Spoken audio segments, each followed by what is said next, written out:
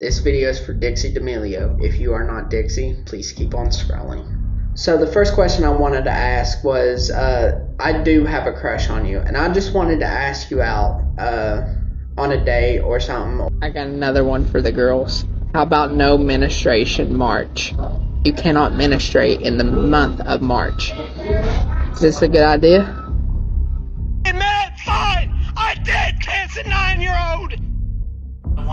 One that kisses nine-year-olds, right? Oh, yeah, yeah, yeah, yeah, yeah, I've heard about him. Um, yeah, what's, what's up with him? I mean, he's like low-key weird, you know? Uh, who, who would do such a thing?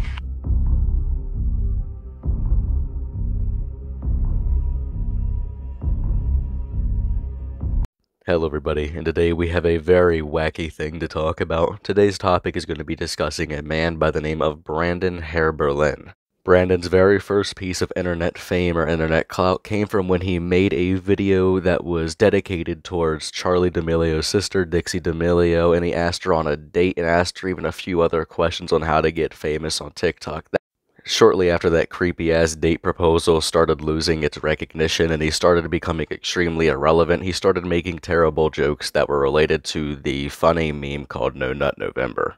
Brandon's jokes weren't really jokes, they were just really creepy things he would say into the camera and then he would bite his lips as if he was attractive at all. One of the jokes that he would reuse quite a bit would be what if the girls, instead of No Nut November, they would do No Discharge December.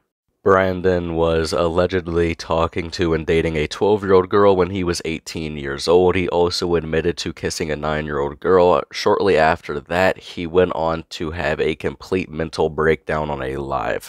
Not only that, Brandon would then go on to joke about the entire situation, even comparing himself to EDP, saying that if he was forgiven and still out on the platform, then I should be too.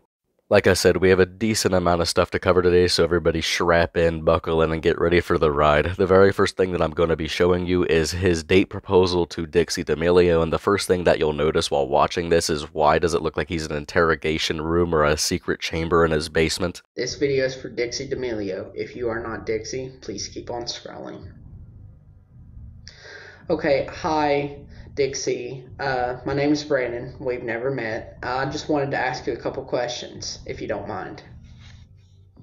So the first question I wanted to ask was, uh, I do have a crush on you, and I just wanted to ask you out uh, on a date or something, or maybe we can meet, hang out.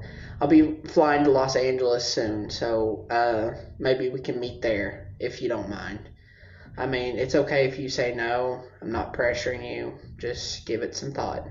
And the second question I had was, uh, how did you get popular on TikTok in the first place, besides your sister?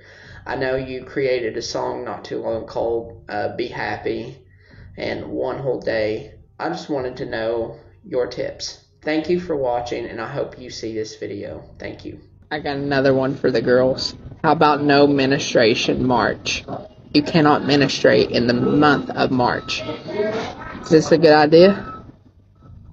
Like I said, a very creepy and unsettling shit that you just had to witness right there, but that's when things started to go downhill when people started accusing him of being a child predator. Once Brandon was aware of the situation and it all started to get much worse and worse, he would get threats on the daily and people would always be talking down on him in his comment section. That's when he started to kind of go off the edge. Then Brandon would then go on to be on an Instagram live. He would admit to kissing a 9-year-old girl and then he would even go on to mock the entire situation in a little comedy skit that I guess he thought was funny. Now I'm going to show you two things. The first thing is going to be like 10 seconds of an admission of guilt from him where he does say that he did kiss a 9-year-old girl when he was around the age of 18 years old. The second thing that I'm going to show you is the very disgusting skit that he made on TikTok afterwards that he thought was funny or comedy. Hey man, fine! I did kiss a nine-year-old!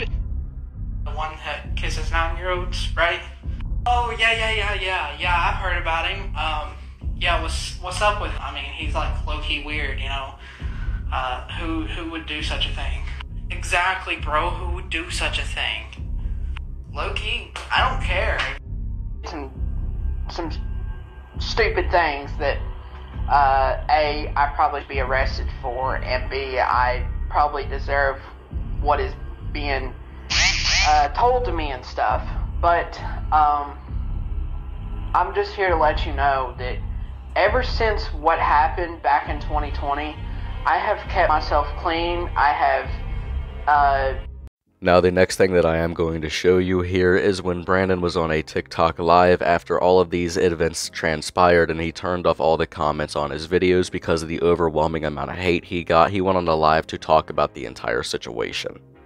Now, in this live here, you're going to see him divert blame a little bit, but also take responsibility for it a little bit. Not only that, you'll see him compare himself to people like EDP and Logan Paul and say that he thinks that since other people were forgiven for what he did, he should also be forgiven for what he's done. Now, in my opinion, he should not be forgiven for what he's done. In no way, shape, or form should he have ever done something like that in the first place, especially when he was a grown ass man at the age of 18 years old.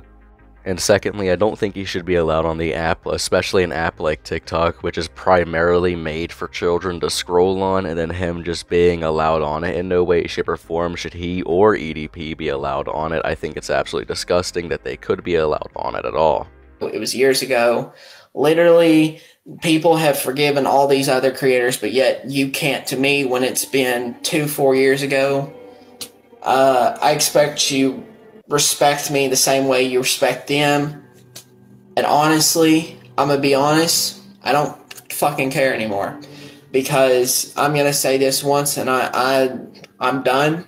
I'm gonna keep posting on here. Y'all can do whatever you want with your lives. I don't care what you comment. But from now on, I'm gonna stay public. I'm gonna keep posting. I'm gonna turn my comments on, not have any filters. Y'all can say the amount of shit that you want to. And uh, yeah, so um, all in all, you need to shut go. Literally, any more comments on their pages explaining what happened to uh, their allegations. Uh, EDP doesn't. I I think EDP is still on TikTok. By the way, I've seen his account pop up on my for you page multiple times. So EDP, y'all didn't get rid of EDP. He's still on TikTok, roaming around, making videos. He's got his comments turned off. Well, actually, yeah, he's got his comments turned off, but he doesn't have his comments turned off on Instagram.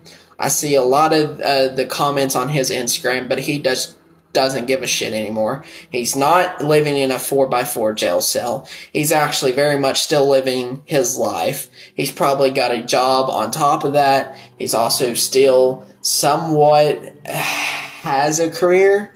And before I mention anything else, I just want to let you know that there are also multiple creators out there that have not done the similar thing that has been forgiven. I'm not going to compare myself to them, but I will give examples. For example, Logan Paul back in 2018, he made that stupid uh, video in the forest. Here he is four four years later boxing Floyd Mayweather. Literally started his own drinking company, Prime, and literally has a podcast that has over four million subscribers. Literally, James Charles he he took a break for like two months. Uh, amidst the allegations, he came back. He's still doing good, still earning money, uh, still fucking grinding, uh, literally videos all day. So I'm going to tell you this, and I'm going to tell you this right now. If those creators can change, and they have showed they change, and I have too in the last couple of years, that means y'all need to shut the fuck up, let it go, leave it alone, Leave it in the past, sealed and buried. It should not be brought up again. Now, I hate to interrupt the video. You know that's one of the things that I just hate to do. But when he's sitting here spatting shit out of his ass, talking about how, you know, they can change in those years and whatnot, whenever this stuff was brought to light, Brandon, how you handled it was extremely disgusting screaming and ranting about it on a live, making a skit of the situation and acting as if it's funny shows me that you've had no growth and you don't know how to handle this situation, nor do you know how to take accountability, especially in this live when you showed me that you only know how to divert the blame. Brandon Heaberlin was ultimately banned on TikTok and he was arrested for three different things. I'm going to show you a clip of someone discussing it further and telling you what he was arrested for. Now, I do need to tell you this, he was banned on TikTok, but he is trying to resurface. Just a few days ago, I saw the new account he made, and I don't know if it got banned or not, but I can't seem to find it anymore. So I'm just going to give you guys a warning here. He is trying to make new accounts on TikTok from what I have seen, so please be careful whenever you're just roaming around the site, especially if you have children. Monitor what they're doing on that app because that app is extremely, extremely dangerous, although it looks harmless from the surface. This video is for Loren Gray. If you're not Loren Gray, please keep on scrolling. No. I suggest you stay right the fuck here. Here's a reminder of who that person in the video clip was. This man is Brendan Heaberlin. He is 20 years old, 5'7, and weighs 240 pounds. He was arrested on July 31st by the Eastern Kentucky Police Department. He was charged with fourth degree assault, third degree sexual abuse, and second degree unlawful imprisonment. He was initially enrolled in Eastern Kentucky University, but dropped out due to the allegations. He has allegedly sexually assaulted one female. As of this point, the victim wishes to remain anonymous, so I can neither confirm nor deny what her age is. As of recently, he's living in Louisville, Kentucky.